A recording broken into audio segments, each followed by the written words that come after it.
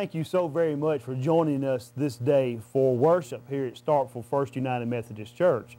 We have an exciting time of worship in store for you this day. Uh, we look forward to drawing you in through the camera into this worship service. And I pray that whatever we say or do here today will not only glorify God, but also will touch you and your family in a very special and powerful way. Thank you again for joining us for worship. Let's go now.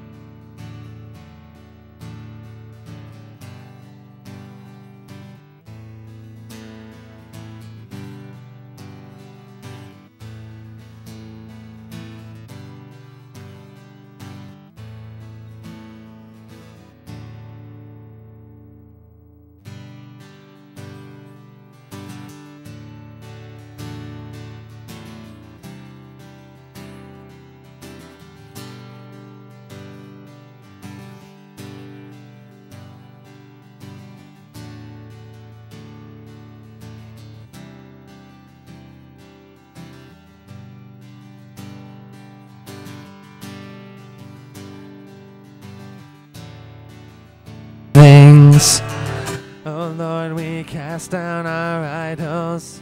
And give us clean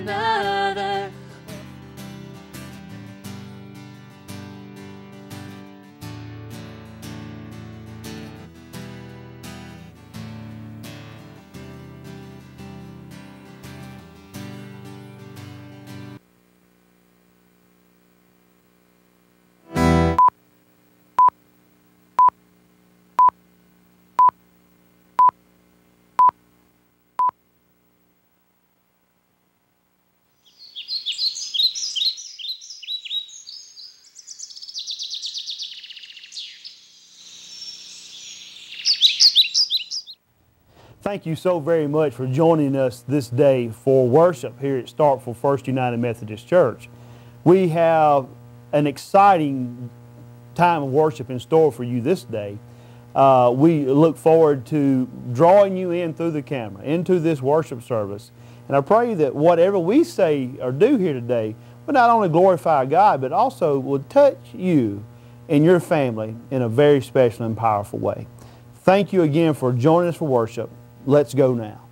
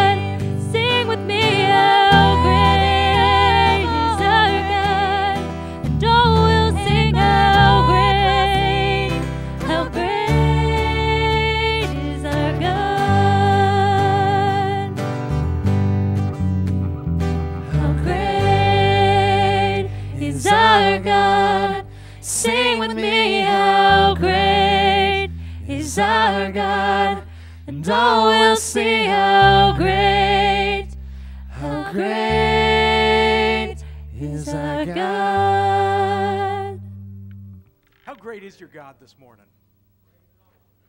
Is he a big God? He is a great God. Let's pray to that God right now. Heavenly Father, we are here to praise your name, Father. We know that you are the great and powerful God, and we thank you for the love you showed us through your Son, our Christ Jesus. We pray now, Father, that our lives may bring glory to you. All that we do, all the people that we meet might see you through us, Father. Fill us to overflowing with your love in this hour. Father, you are a great God, and we love you and can't say thank you enough, but we try our best. Amen.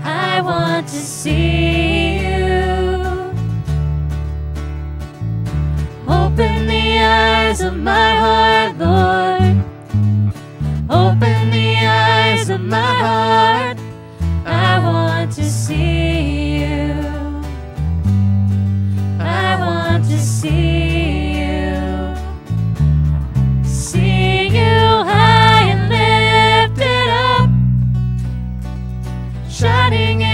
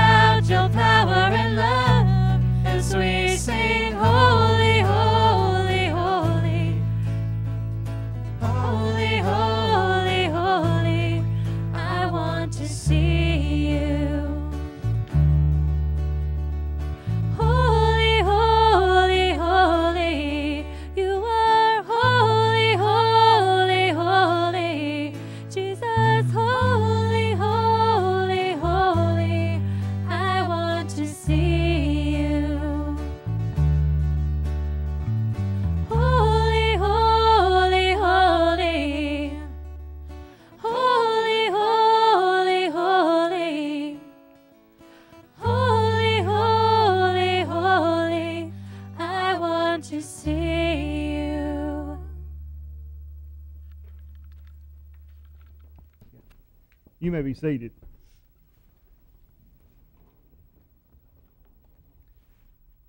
Thank you so much, band, for wonderful music. Thank you for again for sharing your great gifts with us. Let us pray.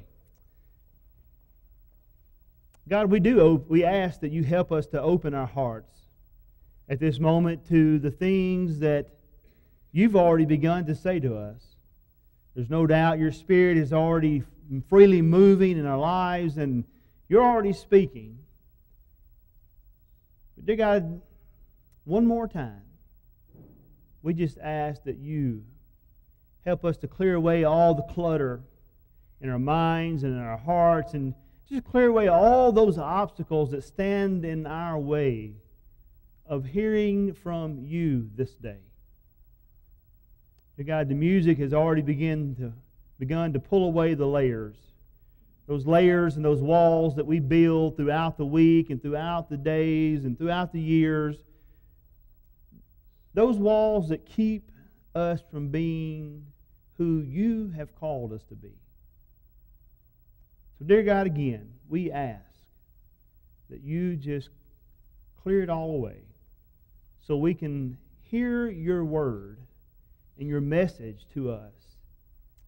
And dear God, even and even possibly be transformed by it. Thank you, dear God, for being present with us right now. In your name we pray. Amen. Our text today comes from the book of Matthew, Matthew chapter 10, verses 40 and 40, 40 through 42. Matthew chapter 10, verses 40 through 42. Jesus has just been talking to his disciples about uh, the importance of going out. He's sending them forth, he's sending them out into the world, and he's talking to them about uh, the difficulties they'll have and the persecutions they'll face. He's, and he's, but he's talking about the importance of the message they have. But then at the very end of chapter 10, he comes to a point where he says, But then there will be those who will invite you in. There'll be those who will throw out the welcome mat, those who will allow you to come in, even as strangers, and be a part of their family. So, Matthew chapter 10, verses 40 through 42 says this Whoever welcomes you welcomes me. And whoever welcomes me welcomes the one who sent me. Whoever welcomes a prophet in the name of a prophet will receive a prophet's reward. And whoever welcomes a righteous person in the name of a righteous person will receive the reward of the righteous. And whoever gives even a cup of cold water to one of these little ones in the name of a disciple, truly I tell you, none of these will lose their reward. Church, this is the Word of God for the people of God. This morning, this morning I want to ask you a very, very deep theological question. Now, if you don't understand what theological is, that's the study of God, basically. So this morning I want to begin with a very deep, deep theological question. You know, one of those questions that, well, I've spent three years in seminary discovering the answer to. You know, one of those questions that keep you awake at night, trying your hardest with the work of the Holy Spirit ministering to you and speaking to you, trying your best to find the answer to the question. You know, one of those that just make you dig deep into those, those hidden crevices of your heart to seek out the answer. Well, the question is this why do we have front porch lights? Yeah, I told you, deep, deep theological stuff right there. Why do we have lights on our front porch? Well, you think about this. Think about this for a second. Think about the importance of your front porch light. Now, I don't know about you, but it just drives me crazy when I don't turn my front porch light on before we leave for the evening and I come back to a dark house and I have to fumble through my keys trying to find the one that fits the lock on the door. You get your cell phone out and you try to shine on your keys and it, it, it just creates all kind of problems for me getting into the house. So yeah, that front porch light kind of shines the light, illumines the lock which enters, that helps you get into the door. Well, you think about it, the front porch light being on sends a signal. Now, this is why this is where we began with these front porch lights. When people, back in the old days, when people traveled, they didn't have these nice new cars. They, they traveled on feet.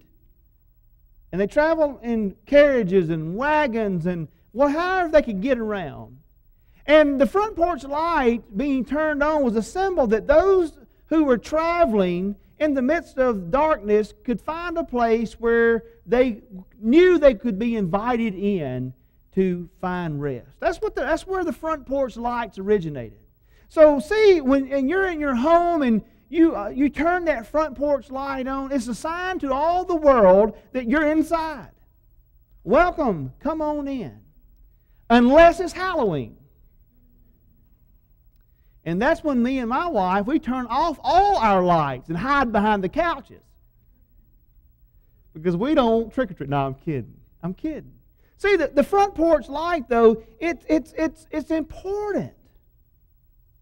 It's important. It, it gives off warmth. It illumines the front door which enters, which leads into someone's home. One of my favorite commercials on TV, or all-time favorite commercials on TV, is the commercial for Motel 6. Motel 6. You know, there's a true, this is a true story. The owner of Motel 6 was driving around one day and he was really struggling. The, the motel chain was really struggling. He was, he was trying to get it going, get it, get it off its feet, and, and, and establish itself in, in a world full of hotel chains and motel chains. And so he was really trying to find some way, some advertising scheme that could, would draw people to his hotel. And well, he says, and I was reading his biography, as, as he dro- drove along, there was this real, real well, he says, yokel, for lack of a better word, voice, that came over the radio and he said to himself, That's my voice.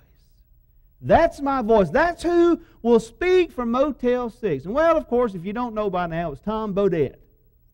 Tom Bodett of Motel 6.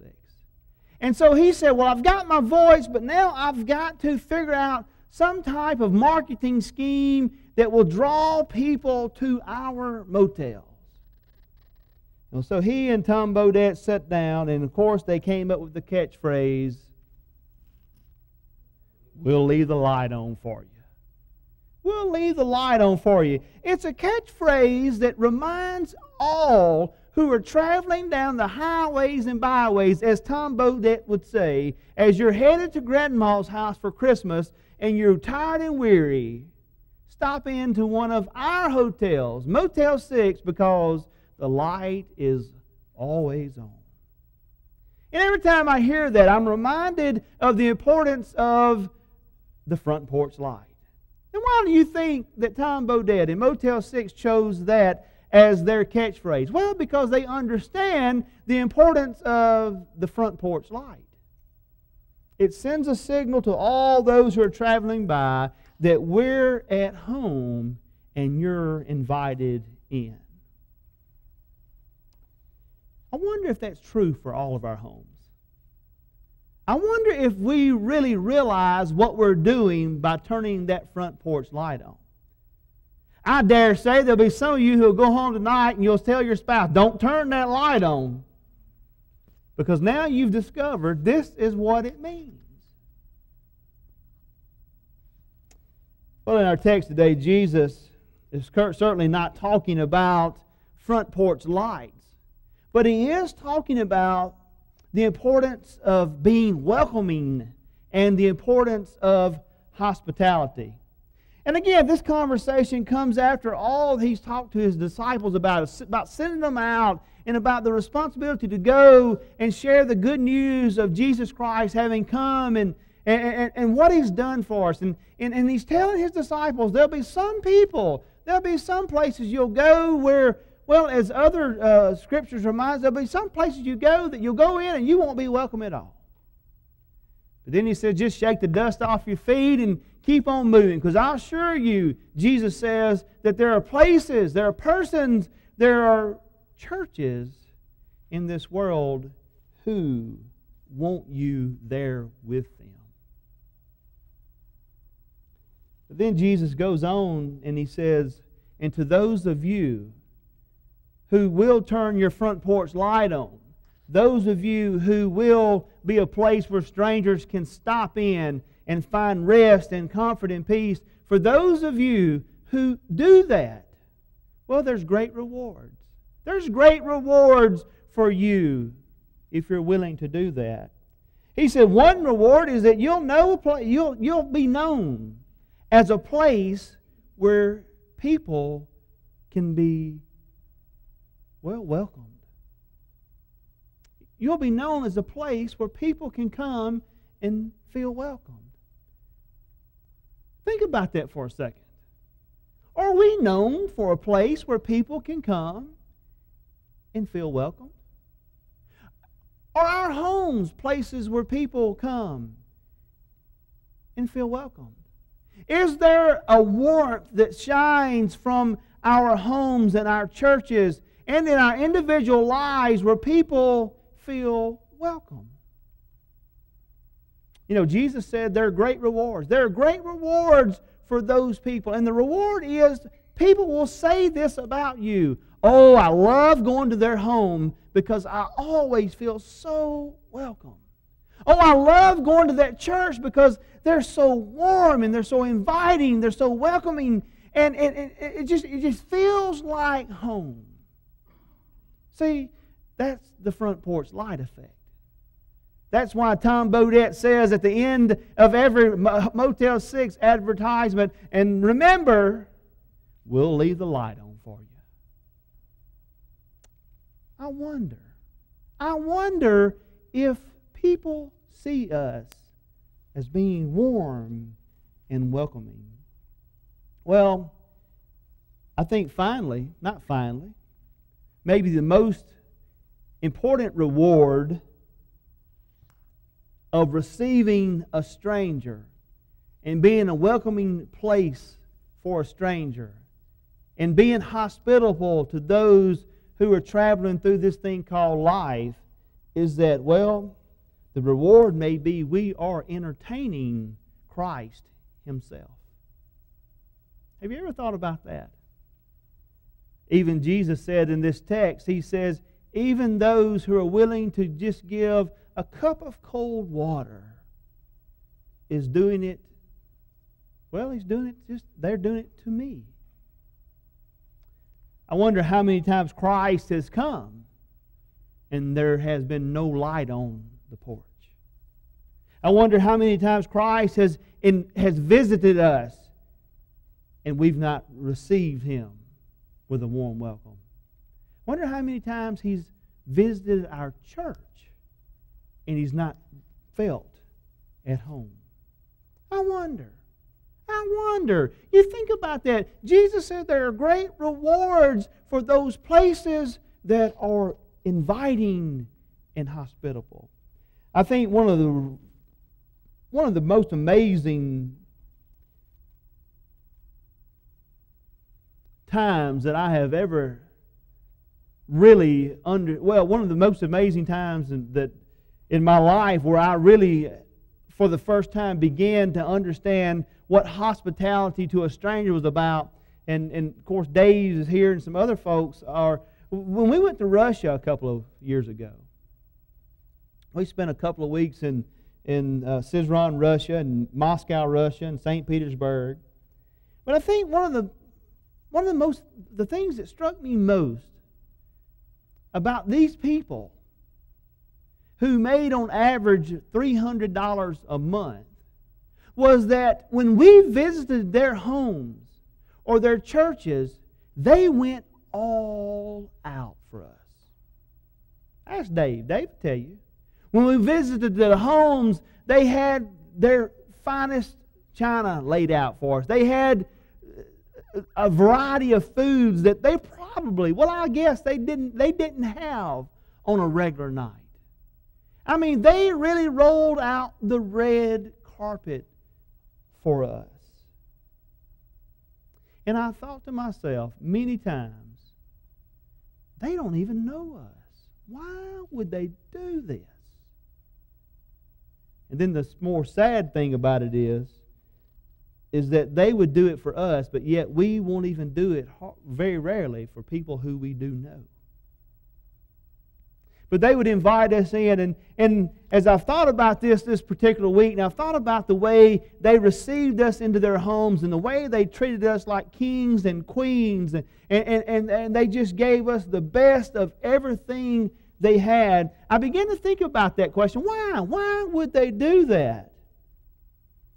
And as much as I would like to think it's because we were such a fine group of people from such a fine church and such a fine town and from the world's best university, as much as I would like to think it was all that, well, I've come to the conclusion that it probably wasn't. It probably, that probably wasn't the reason why. No, we received this warm welcome because of who we represented. They knew we were on a mission trip. They knew we were from a church, and so they welcomed us not because of who we were, but because of who we represented in Christ Jesus. They got it. They understood that these people are here representing Christ to us. That's what Jesus is saying in our text today. That's exactly what he's saying He's saying these people who welcome you, these disciples, into their homes, into their places of worship, and into their businesses, they're, they're welcoming you because they know you represent me.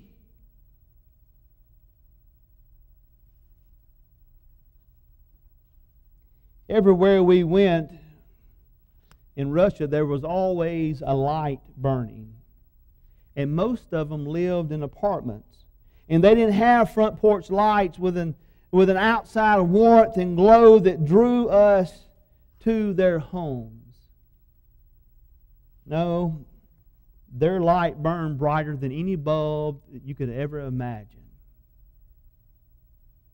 The light that they shined was the light of Christ. They recognized who we represented. I wonder, are our lights burning? Are our lights burning brightly? Those lights which shine from our souls out into the world, do they, do they send the, the message that we are ready to receive, we're ready to welcome? That those strangers who come into our midst, those people that we don't know, maybe not have uh, ever met before, are we always ready to receive them because well, they may come representing Christ.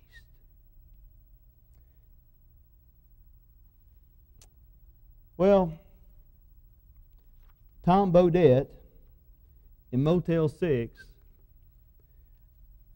I don't know if they would be where they are today without that catchphrase. I don't know if they would be this worldwide chain that they have without that catchphrase. But I know on that day when the owner was driving around town wondering if this was ever going to make it, I know as he drove, that voice, that voice he heard, immediately, immediately he said, This is the voice that's going to open the doors to the world. I wonder, are our lights burning? Can that be said of us? Welcome. Anytime, day or night, our lights are always on, ready to receive that stranger which is traveling down the road. You know, I don't know why this is, but we have yet to figure out that it's just as easy to be inviting than it is to turn people away. It's just as easy to be warm and welcoming than it is to be standoffish and cold. It's just as easy. But not only is it just as easy, it's what Christ ask us to do. It's what Christ asked us to do. Well, I know what's going to happen when I get home today. I know exactly what's going to happen. My wife's going to say to me, We're going to clean the house up now. Because we, I now know that whoever hears what you've just said knows, well, they can come to our house anytime they want to. I'm going to go out and unscrew the light bulb. no. I hope our lights are always burning, always open to receive the stranger, because you never know. It may be Christ Himself. The bad news about this day is that, well, this will be the last contemporary worship service until August 10th, second Sunday in August. But I'll leave you with this thought don't worry, don't fear, because when August 10th rolls around, well, our lights will be burning. Let's pray. God, thank you for this morning and thank you for the opportunity just to share with each other some thoughts and some ideas that you have placed upon our hearts. And dear God, help us to always be ready to receive the stranger. Help us to always be ready to give that cup of cold water. Dear God, help us to always be warm and welcoming, just as you are for us. God, help us to always be looking for someone to share the good news of your Son, Jesus Christ, with. And may people always find a welcoming, hospitable place here in our church. Dear God, thank you. Thank you for being such an inviting, warm beacon of light, shining for all to see. And may we emulate that in our lives. In your name we pray. Amen. This morning, as we, as the band plays, the altars are open for you to come and pray as the Holy Spirit leads you. Just just be at a time of prayer. And maybe there's something that you need to pray about this morning. Maybe you want me to pray with you. I'll be glad to do that. Maybe you'd like to join this church or to become a Christian for the first time, accept Christ as your Lord and Savior. Again, I, I would love to, to, to pray with you about that. I just ask that you be open to the move of the Holy Spirit this time as the band plays.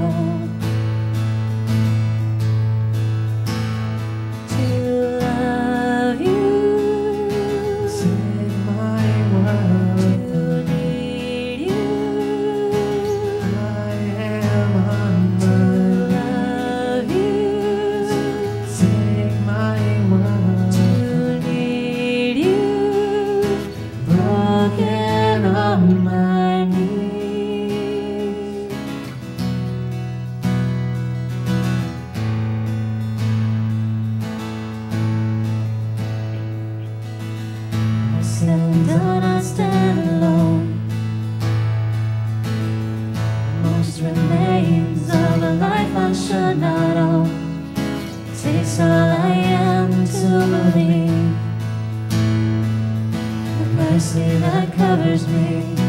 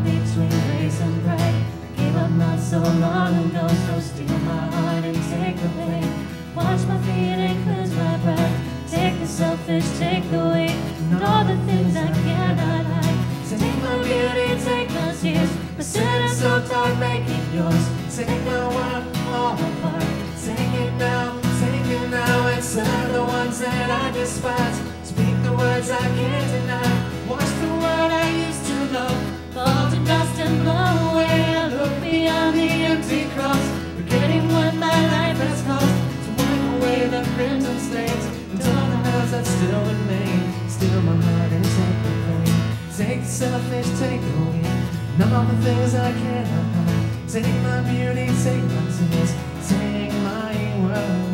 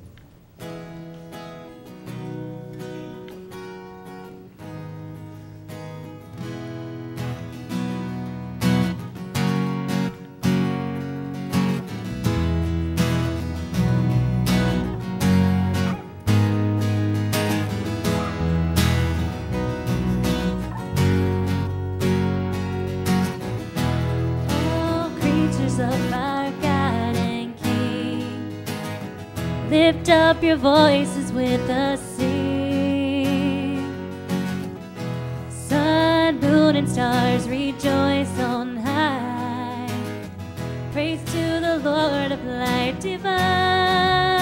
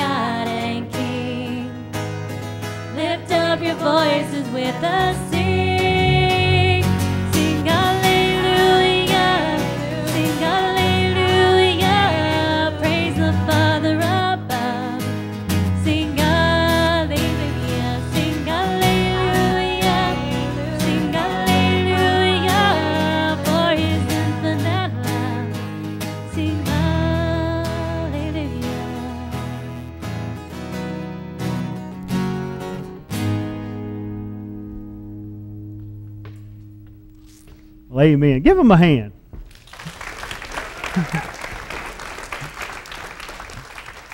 Thank you for being here this morning. And don't forget, take, a, take your bulletin with you. Look through it. Uh, several things going on in the life of our church, even during the summer. Um, I just want to just remind you of one thing. Uh, I guess it's the preacher in me that wants to, that feels the need to say this. Uh, we, we often travel and take vacations during the month of June and July and sometimes in August. But your church is still very active and still going strong. And uh, we have many programs that are still uh, happening the kids and the youth. Uh, uh, and I say all to say, don't, don't forget about us uh, when you're writing your checks out uh, throughout, throughout the, the summer months because we, we, still, we still need to, to, to pay for all the great ministry that goes on here during the summer. Also, your, present, your presence here. Uh, again, there's so many great and wonderful things going on. If you look through, there's the opportunity for the kids to go to the Braves game. Um, I don't see anybody that might fit into this category, but uh, Monday we're having the senior adults here for a game day. Again, uh, well, I was trying to be nice, Skip. but yeah, we, there's so many great things going on uh, in the life of this church. But we just thank you so much for doing what you do uh, for it. Yes, Richard. Uh, I would, since y'all my church, I want y'all to know, my brother-in-law gonna marry me at his house. He's over here by the lake. And I thought about what Jake to see if you be for real in your life. And I, um, I came out there, met with Jackie, with this lady. Mm-hmm. And the church told me, the other church told me to give me a wife. If I'm gonna be a, the word of God, I got to walk upright. So I wanna thank Jason for the word that telling me to be right by the Lord. So I want y'all to give me a hand. I'm gonna get married. I'm gonna have me a church going a while. All right, so you going you fix get married. Well, congratulations, Richard.